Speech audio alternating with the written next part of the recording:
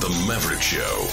What the theory of flow describes is not only how to experience that joy in the present through flow state, but also how to create a unified sense of flow in your life where life makes sense to you and you're able to order your consciousness, direct your intention and invest it in a goal that matters most so that you get this seamless unfolding of life and time where everything makes sense. There's order in your inner reality and your outer reality responds to it. And psychologists really call this the, they call it the secret to happiness. And it's a formula for living life fully without the waste of your time or potential.